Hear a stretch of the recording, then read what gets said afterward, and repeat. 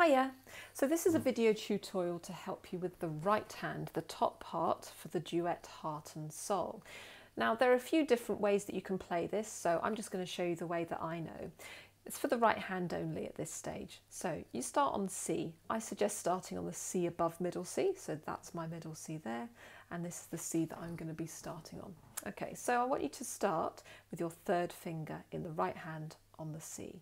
Now just rest one finger over each key and we're going to play that C three times.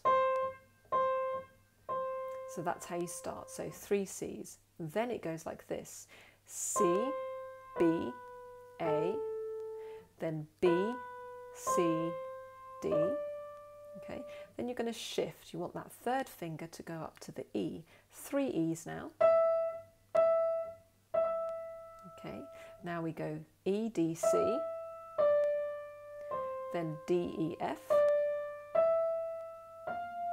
Okay, and now we stay in this position for the moment, G with the little finger, and then your thumb onto the C.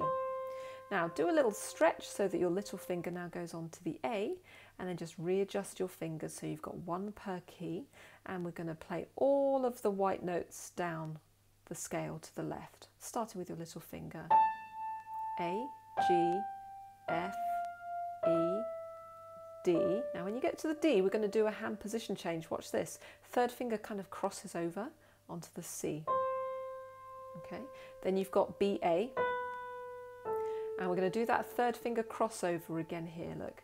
So G, F, F sharp with the third finger, and then fourth finger on the G. Okay, so that's how the top part goes. Once it's up to speed, this is how it will sound.